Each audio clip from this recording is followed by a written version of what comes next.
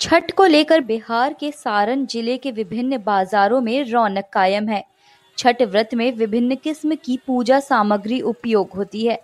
इसलिए महिला व पुरुष दोनों ही खरीदारी में व्यस्त हैं।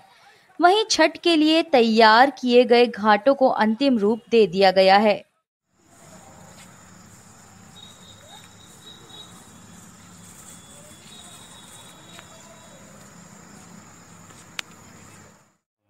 यहाँ व्रतियों के लिए कपड़ा बदलने के लिए दो तीन टेंट लगवाए गए हैं जिसके अंदर कपड़ा बदलेंगी।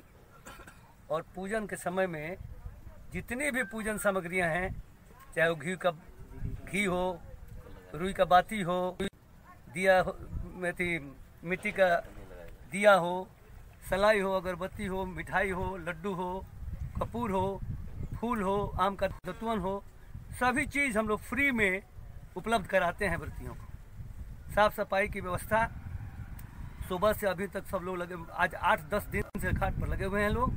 चारों तरफ़ अच्छी व्यवस्थाएँ हैं। इसमें कोई भी किसी भी व्रति को किसी प्रकार का कोई भी कठिनाई यहाँ नहीं है।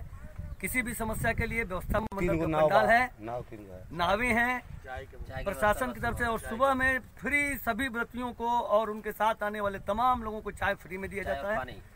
पानी। की व्यवस्था है समुचित। यहाँ किसी तरह की कोई समस्या नहीं है।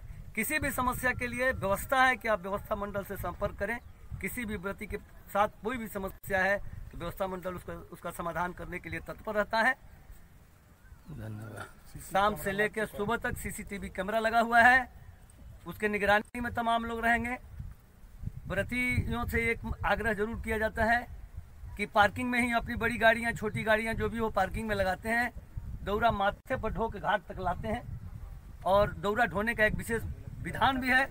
उस भी, उसका महत्व भी है। इसलिए सभी बड़ी और छोटी गाड़ियाँ जो पार्किंग स्थल बनाया गया है वही लोग रखते हैं। और वहाँ से यहाँ तक ले आते हैं लोग। ये तमाम व्यवस्थाएँ हैं।